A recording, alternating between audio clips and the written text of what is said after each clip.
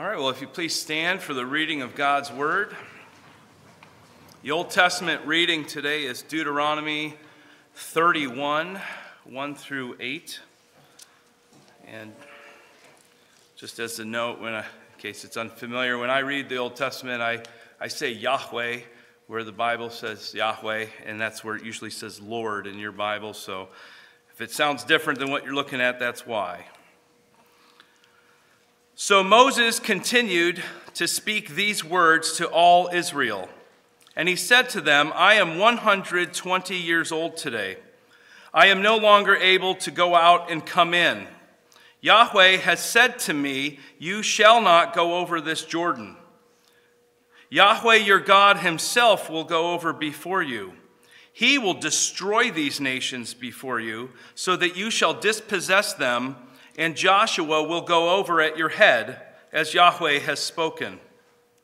And Yahweh will do to them as he did to Sihon and Og, the kings of the Amorites, and to their land when he destroyed them. And Yahweh will give them over to you, and you shall do to them according to the whole commandment that I have commanded you. Be strong and courageous. Do not fear or be in dread of them, for it is Yahweh your God who goes with you. He will not leave you or forsake you. Then Moses summoned Joshua and said to him in the sight of all Israel, Be strong and courageous, for you shall go with this people into the land that Yahweh has sworn to their fathers to give them, and you shall put them in possession of it. It is Yahweh who goes before you. He will be with you he will not leave you or forsake you. Do not fear or be dismayed. The New Testament reading today is in 1 Peter chapter 4, verses 7 through 11. The end of all things is at hand. Therefore, be self controlled and sober minded for the sake of your prayers. Above all, keep loving one another earnestly, since love corners a multitude of sins. Show hospitality to one another without grumbling. As each has received a gift, use it to serve one another as good stewards of God's varied grace. Whoever speaks as one who speaks oracles of God, whoever serves as one who serves by the strength that God supplies, in order that in everything God may be glorified through Jesus Christ. To him belong glory and dominion forever and ever. Amen. You may be seated.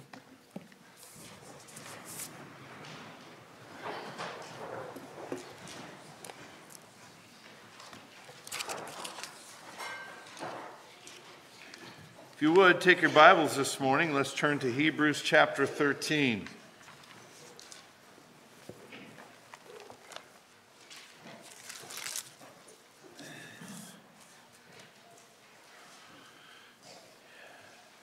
You follow as I read this chapter.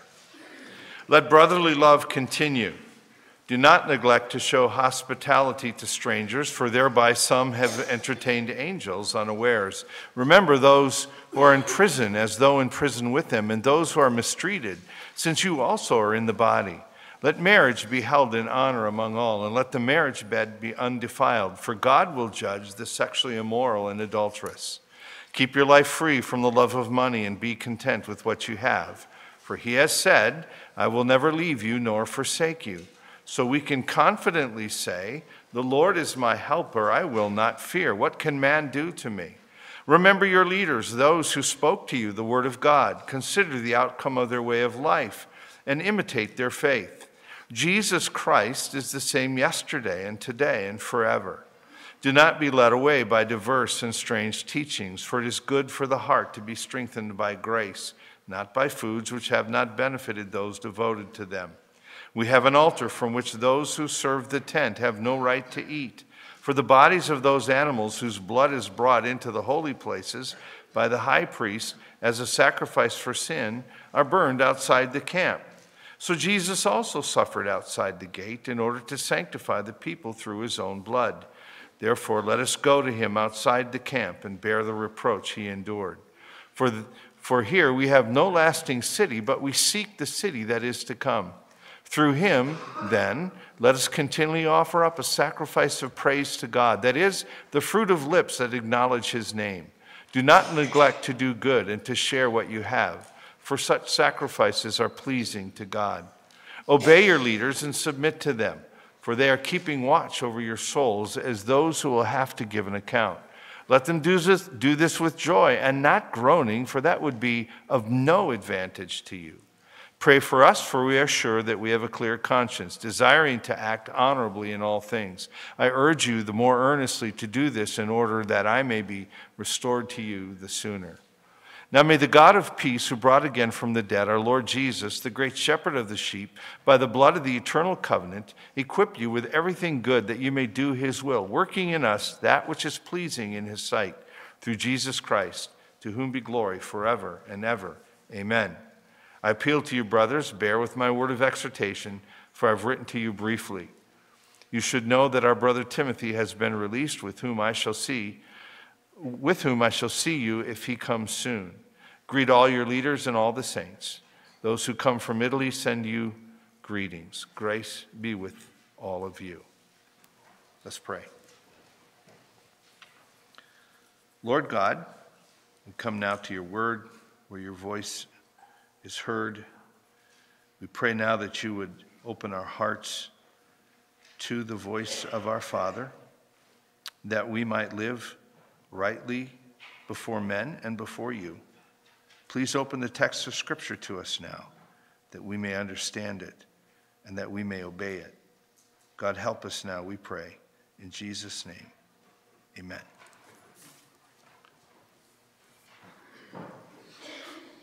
What is this? What is this?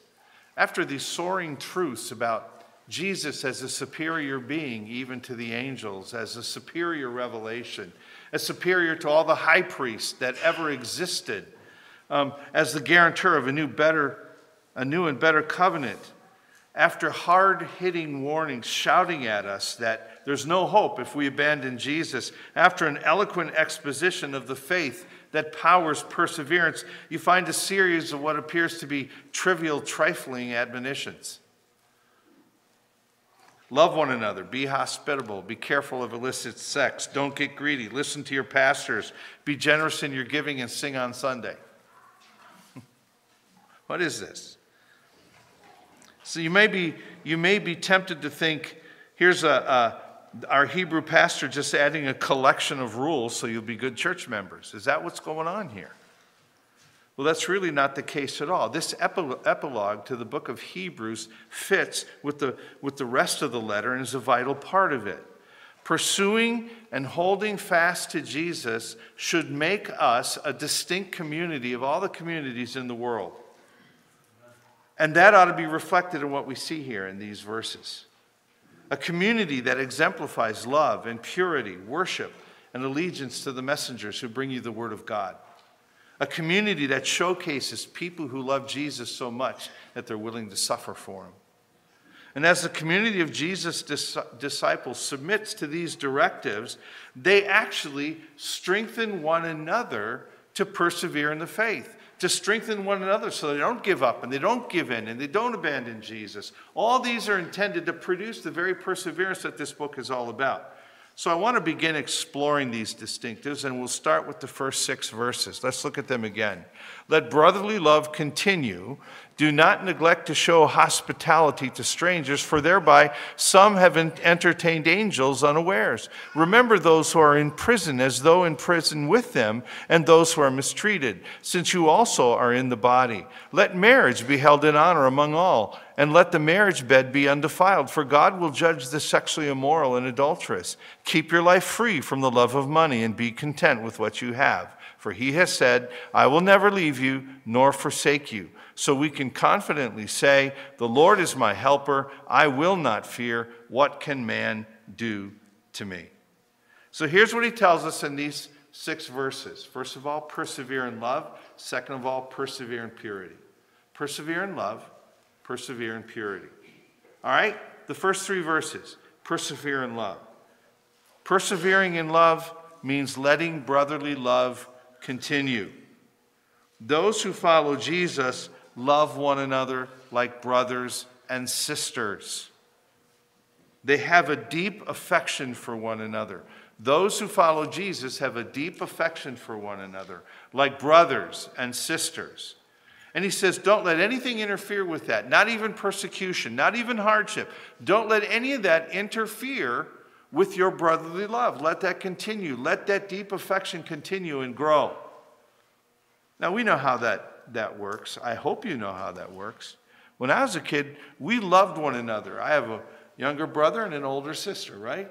And we loved one another because our bonds grew as we lived life together.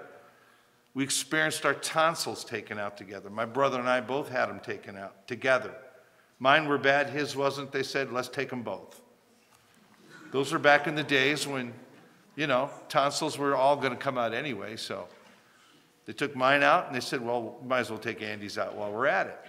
I mean, we went to, we went to the hospital together. We were in bed, beds together. We had our tonsils taken out together. We walked to school together. We stood against the world together. Hey, listen, you make fun of my sister, you got her brothers to deal with, right? We were concerned about each other. If my brother was down, I wanted to know what his problem was. What's wrong? Right? I see that in my own children, especially. I see that in my own children, especially when someone from the outside wants to become part of our family. Right? I'm just the door to what I call the court of the siblings. Okay?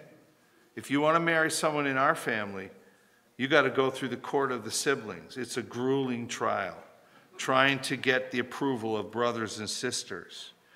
But that grows out of a love they have for one another, and they're concerned that whoever gets married in our family is going to have a good and a happy and a joyful marriage. They're concerned about that. And by the way, once the in laws come in, which is no easy task, once they're in, they have the same allegiance and the same loyalty and the same love as all the others in the family do. That's what he's talking about here. He's talking about this kind of affection and loyalty that belongs to us as brothers and sisters in Christ. By the way, that is where we got the habit of calling one another brothers and sisters because of passages like this. Let brotherly love continue. Now, this is the kind of love that ought to distinguish this community from all the other communities of the world. We ought to be known for our deep affection and loyalty to one another, that we will stand by one another, that we will never give up on one another. We belong to each other as family. That ought to distinguish us uh, distinguish us. And by the way, as you cultivate that brotherly love, you will strengthen one another's resolve to persevere in the faith.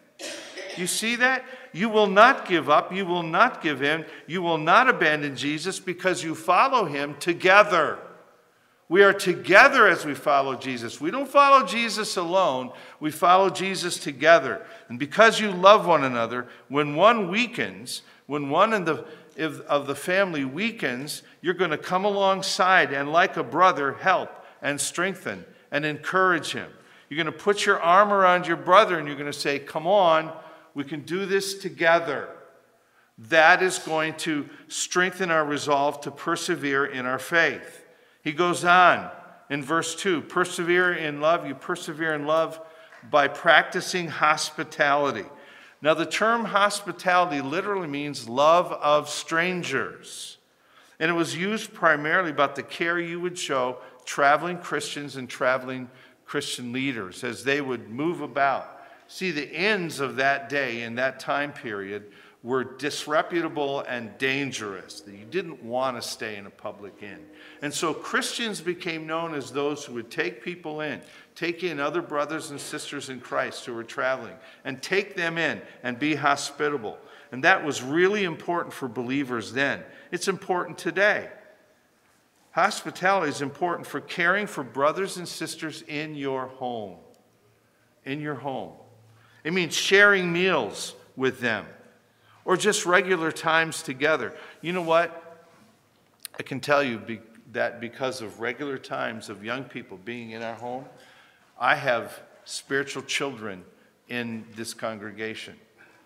um, that actually are almost like my own kids in some fashion. But I have spiritual children, children in the faith because of that. It may mean offering temporary housing to someone who's in need, and sometimes over an extended period of time.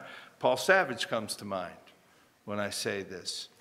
I remember at one point as we were, we were trying to help someone who was struggling with addiction, Paul took the brunt of that and had that person stay in his house as he detoxed and everything else that went with it and kept guard on him and said, Give me your wallet, give me your phone, we're going to help you here. Right?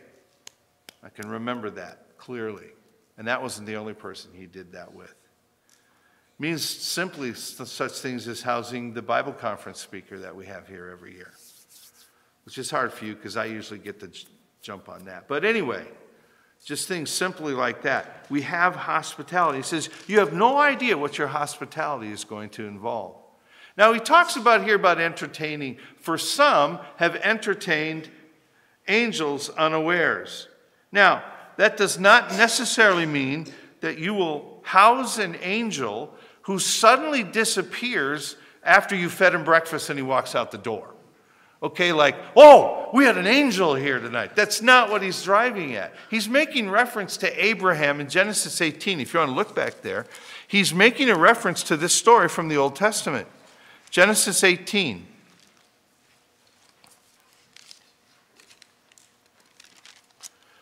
Let's just look at verses, uh, the first eight verses. And the, we want to follow Michael's practice, and Yahweh, that's his name appeared to him by the oaks of Mamre. Him is Abraham here. To the oaks of Mamre as he sat at the door of his tent in the heat of the day. He lifted up his eyes and looked, and behold, three men were standing in front of him. When he saw them, he ran uh, from the tent door to meet them and bowed himself to the earth and said, O Lord, if I have found favor in your sight, do not pass by your servant. Let a little water be brought and wash your feet and rest yourselves under the tree while I bring a morsel of bread that you may refresh yourselves. And after that you may pass on, since you have come to your servant. So they said, Do as you said. And Abraham went quickly into the tent to Sarah and said, Quick, three seahs of fine flour, knead it and make cakes. And Abraham ran to the herd and took a calf tender and good and gave it to a young man who prepared it quickly. Then he took curds and milk and the calf that he had prepared and set it before them. And he stood by them under the tree while they ate. And you go on, and one of those, what, what happens is simply this that Moses, Moses, Abraham, Abraham actually showed hospitality to two angels and the Lord himself, who's the third. And what, what, what, were they going to do? These three men then went, left him, and went to judge Sodom and Gomorrah. Here's the point you don't know who you might help and what they might accomplish. You don't know who you might help and, how, and what they might accomplish. When I was a youngster, um, a, a, a, man by the name of Dr. Viggo Olsen came and stayed with us for a while. He was a medical doctor, and he went to Bangladesh, which is a Muslim country, and he established there a hospital which became the center of, of Christian missionary movement in that country. He ate at our table. We sat with him. We talked with him. And as he founded that hospital and served there, he got a good foothold for the gospel ministry among Muslim people. And by the way, Phil Parshall, one of our former missionaries, who is worldwide known for missions to Muslims, was connected with Dr. Olsen when he first came there.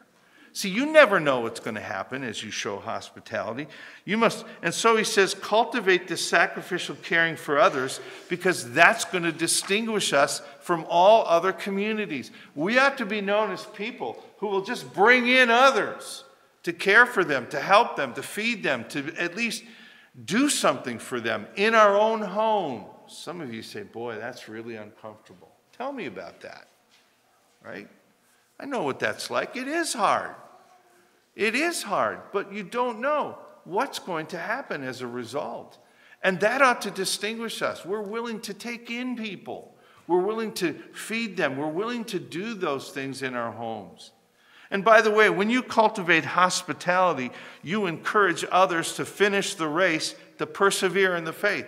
Hospitality is going to encourage others to persevere. You say, how? Well, I think of those, uh, think of those who might sit around your table. I think of Dr. Olsen for one. You know what? He faced trials and tribulations that I'll never face. And yet, here's an example. I know his life. He can do it, I can do it. You end up, listen, I know this as a kid growing up in the household I had. You end up having heroes sitting at your table. People who go on before and show you how to persevere. That's what comes from hospitality. And you sit there uh, by sitting with and providing for another brother or sister, you also encourage them to stay faithful to Christ. You know what? When someone's in trouble and they need a place to stay, and no one steps up, do you think they're going to be more likely or less likely to continue in their walk with Jesus? What do you think? It's important for our perseverance. Here's the last thing he says about persevering in love persevering in love means identifying with the persecuted. Now, you should identify with them since you also are in the body. You might think this is a reference to the body of Christ. I don't believe it is because he just doesn't use that terminology anywhere in this epistle. He's talking about you're also in your own physical body. This is rather you can identify with and sympathize with those so cruelly treated because you also live in a body. You also know what physical hardships are like. You know what pain is like. You know what others are going through, and you want to alleviate that pain. And that means also you're equally vulnerable to the same kind of treatment. You're equally vulnerable. And so, what he says is, you got to remember those who are in prison and remember those who are mistreated because of their faith as though you were in prison with them. Remember them that are in prison and remember those who have been mistreated as if you're in prison, as if you're mistreated. Now, what he's trying to, to, to bring across to here is to understand there's always personal risk involved when you so identify with people who are suffering. You'll be identified with those unhinged lunatics who have this hardline, bigoted belief system, which is how we're characterized today, aren't we? That's how we're characterized right? You Christians, boy, you're, you're, you're a bunch of lunatics. Today, if you identify with people who espouse biblical viewpoints, you'll be ostracized, you'll be marginalized, you'll be labeled a bigot, an unscientific ninny who is dangerous and dis- divisive. That's how we're characterized. Count on that. Now, how do we identify with people like that? Well, okay, you know, none of us are being thrown in prison because of our faith in Christ. None of us are yet in prison for that. So, what, what does he mean? Well, let me give you an example. The new Speaker of the House of Representatives is Mike Johnson, right? Now, I don't know Mike Johnson personally. And I doubt that I'll, I would uh, agree with all that he says politically. All that aside, I'm not talking politics here. I'm talking about a man who's been elected Speaker of the House who is a forthright, verbal, bold evangelical who says the Bible is my worldview, who says the Bible influences all I do, who says, I am a believer in the Lord Jesus Christ, who says, I believe God created the heaven and the earth, and I believe that men and women are the only ones who should be uh, united in marriage. No news to us. So what's the big deal? I don't know. Read the, read the um, article in Rolling Stone about him. He's a dangerous man. He's a dangerous man. What kind of a man like this? A man who's faithful to his wife who believes in the Bible, this guy is dangerous. Or one commentator calls him, he's less divine and more divisive. Now, politics aside, I'm saying, here's a guy, a public official, who is, one person played a clip in which he says, I believe in the Bible and I read it. Just played that clip, and the audience is supposed to go, oh no, what a lunatic. Now, look, are you willing to be called a lunatic? Are you willing to be called more divisive than divine? Are you willing to carry the same labels? That's what he's talking about here. Because when all that's going on, we tend to fade into the background like, ooh, I don't want to be, I don't want to be called that. I don't want to be ostracized. I don't want to be marginalized and everyone think I'm a Looney Tunes. We don't want that. He says, that's what you got to do. You got to be willing, you have to be willing to be identified with those kind of people. Now, here it's people who are in prison. What's the problem? There's a risk involved. If you go and visit, if you go be a part of that person in prison, you'll be counted as one of them, and you may end up there with him. Are you willing to do that? That's what our writer is saying. You have to be willing to do that. This has to distinguish us as Christians. Willing to be marginalized, ostracized, to be called lunatics, to be called divisive. We got to be willing to carry those labels. You know, there was a, writer, a Roman writer by the name of Lucian who tried to ridicule the Christians when he wrote this treatise called The Death of Peregrinus. And he's, he's almost writing sarcastically when he says this The Christians, he says, left no stone unturned in their endeavor to procure Peregrinus' release. When this proved impossible, they looked, they looked after his wants and all other matters with untiring solicitude and devotion. From earliest dawn, old women, widows they are called, and orphan children might be seen waiting about the prison doors, while the officers of the church, by bribing the jailers, were able to spend the night inside with him. Meals were brought in, and they went through their sacred formulas. I hope we can carry that label someday. I hope we'll be known for the same thing, even though Lucian holds it up to ridicule. Oh, that we'd be ridiculed that way.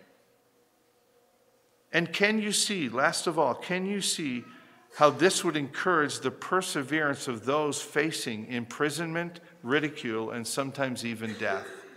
The fact that you're willing to be identified with them. Do you think they'll be strengthened in their resolve to stay true to Jesus? I think they would. I think they would. So persevere in love. Now he goes on to say, persevere in purity. Persevere in purity.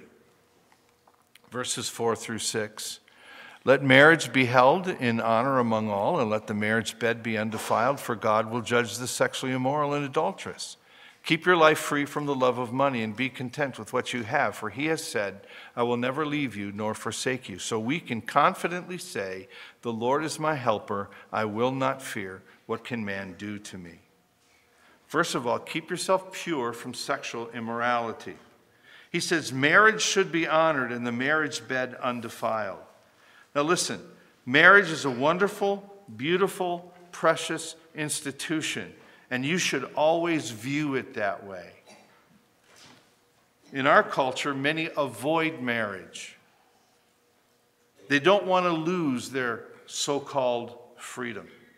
Oh, I'll lose my freedom if I get married. And so we have a whole generation of people growing up into their mid 30s with no thought of getting married. Right? Why? Because it's something to be avoided. It's something to be avoided.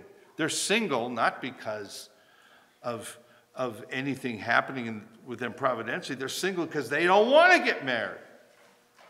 They don't want it. Who would want to get married? Many denigrate it as an instrument of oppression and needs to be eliminated altogether. I remember my father. This is one of the things I remember the most about my dad. He would get furious about marriage jokes. He would get mad when and I'll tell you, when anybody would ever refer to a wife as a ball and chain, right? That gives you a view of marriage right there, doesn't it? I'm married to a woman who's my ball and chain. That would just make him mad. And some of you are old enough to remember, some of you never heard the name of Johnny Carson, who was a really, really famous and entertainer, okay? He's a real famous entertainer who was married like three times. And he'd always be making jokes about his ex wives and alimony and all this kind of stuff, making jokes of it. And I tell you, that, that would just infuriate my father. Why? Because he had the attitude that marriage is really special and a good thing. And you never, ever want to denigrate it in any way. Marriage is an incredible gift from God. That's what he's saying here. And he says, keep the marriage bed undefiled. What he's saying is sexual union within the covenant relationship, relationship of marriage is undefiled. Um, our Hebrew writer here, as one, as one put it, our writer focuses on the priceless gem of sexual intimacy to be protected by the covenant of exclusive fidelity between a man and a woman. The world looks at us and says, when Christians talk about sex, what they do is they draw a big frowny face and write no underneath it. And our writer is saying just the opposite. Sexual intimacy within marriage is something that's wonderful and good. It's, it's undefiled. So he says, don't defile it with sexual immorality. And sexual immorality is a constant and a serious threat a serious temptation. Notice what he says here sex experienced outside the covenant of marriage, any sexual relationship outside the covenant of, of, of marriage invites God's fury.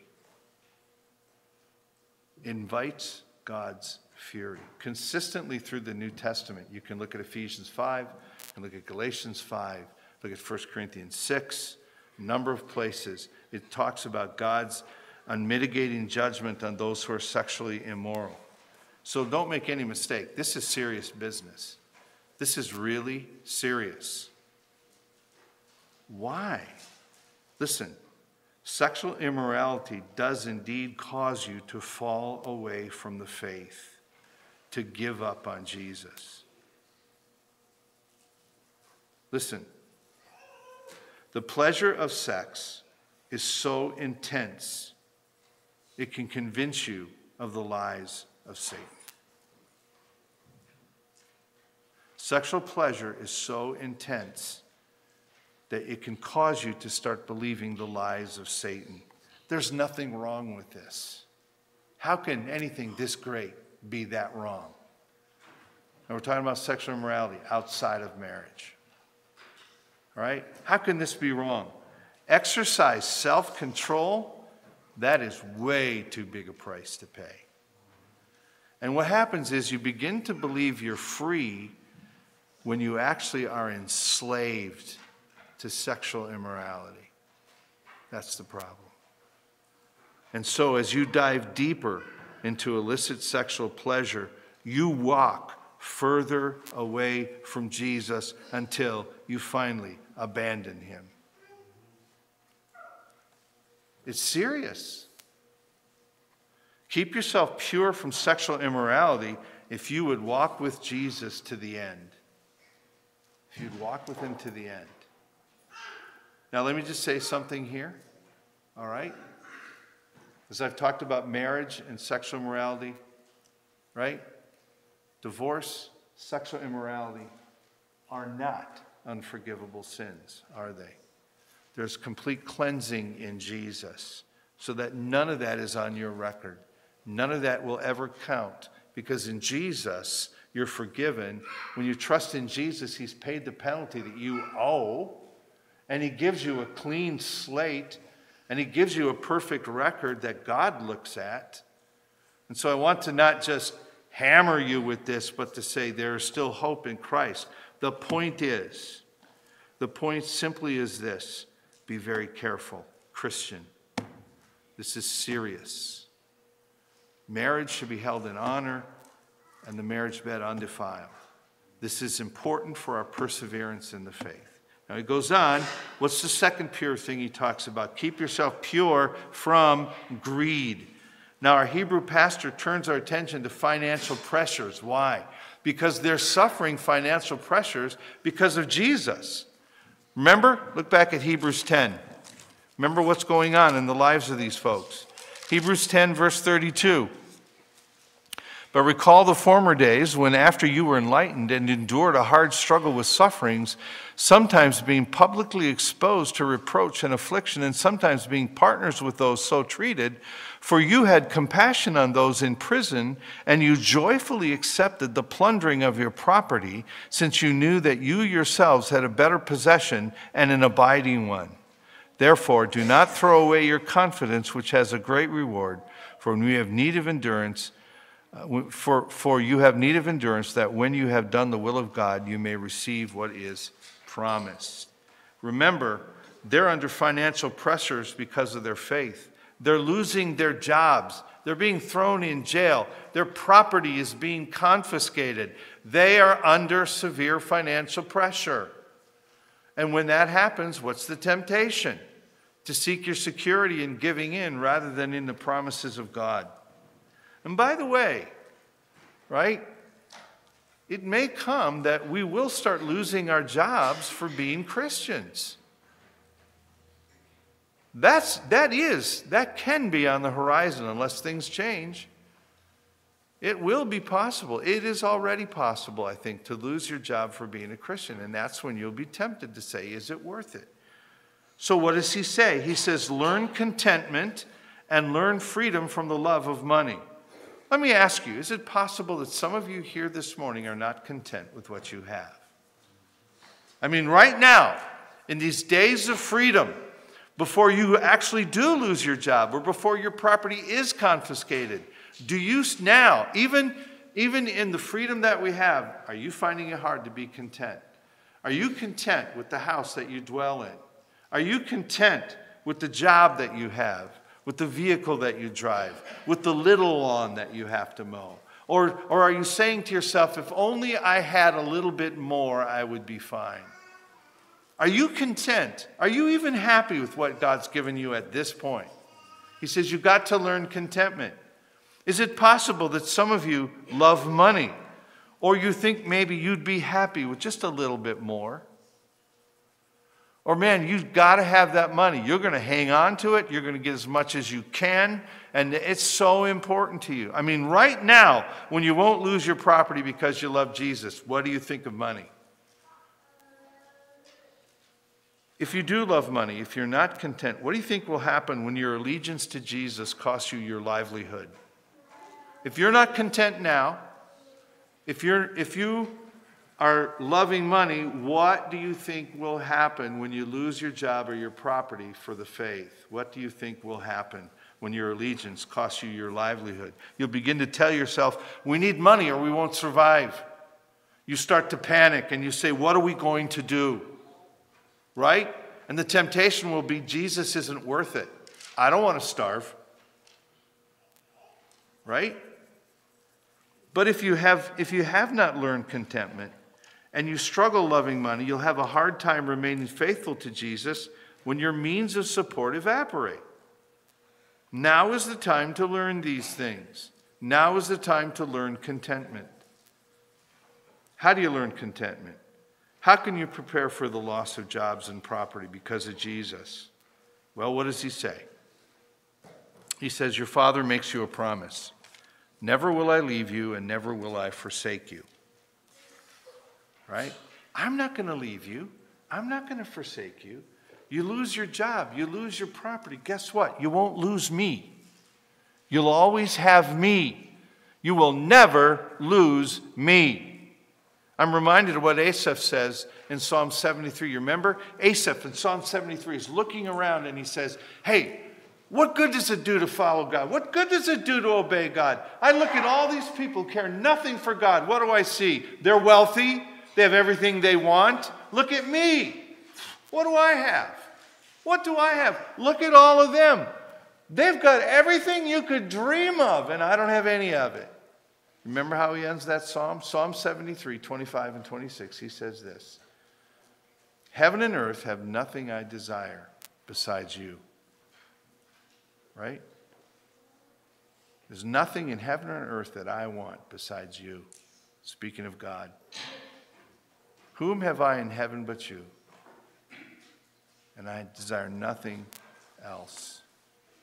For God is the strength of my heart and my portion forever, my treasure. You may lose everything, but you'll always have God. And you know what? He'll never leave you or forsake you. He's quoting here, and you, I hope you recognize it. It's Deuteronomy 31. You heard it this morning. As they're about ready to cross the Jordan and conquer the people of Canaan, what does God say? I'm never going to leave you or forsake you. I'll protect you. You got to believe that promise. God will protect you, God will provide. And so it is with you as you face what appears to be destitution. Have no fear. God will not abandon you. He'll walk you through it. He'll provide for you. He will love you. And you need to believe that your Father is your helper.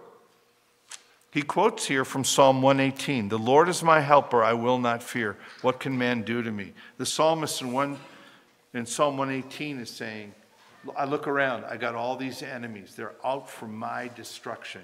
But guess what? God is my helper. What can man do to me? Listen, they can't do anything to you. It's got to come from God's hand before it ever comes to you. The Lord will be your helper when your foes seek to destroy you by robbing you of your possessions.